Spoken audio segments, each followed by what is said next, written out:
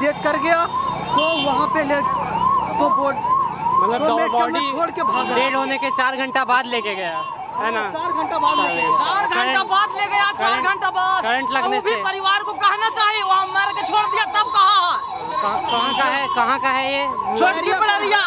यहाँ एक साल से नहीं दस साल से यहाँ काम कर रहा है। दस साल से कम दस कितना उम्र है? कितना उम्र है? चालीस पैंतालीस उम्र के साथ होगा। चालीस पैंतालीस। और करंट क्या चीज़ से लगा है? अब वही तो इनका भागे यहाँ के मैनेजर भागे सबको भागा तो क्यों है? अगर वो कसूरवार नहीं तो भागा क्यों है फिर?